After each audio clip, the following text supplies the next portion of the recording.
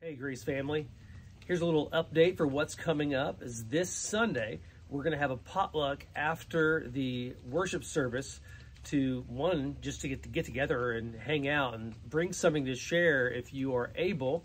But we're also going to be celebrating Chris Godley our new ministries coordinator and his wife Ann and their three kiddos which is Miles, Raylan and Callum.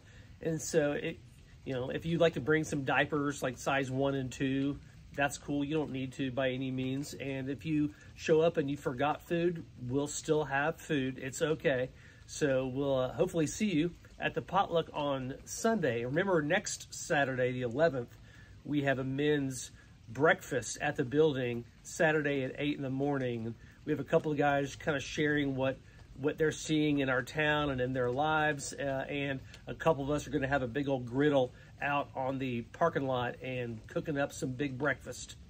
A lot of fun stuff going on. Looking forward to seeing you soon. Bye bye.